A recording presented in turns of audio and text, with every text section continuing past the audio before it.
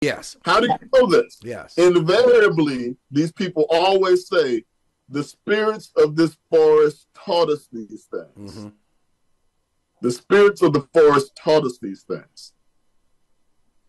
Now, all of these civilizations, all of these civilizations, before they start to, you know, vary off and change and kind of, you know, warp into different types of people, all of them were African people to start. Yeah. Way back hundreds of thousands of years ago, before anybody else in the world, Mm-hmm. they were all African people. Yeah.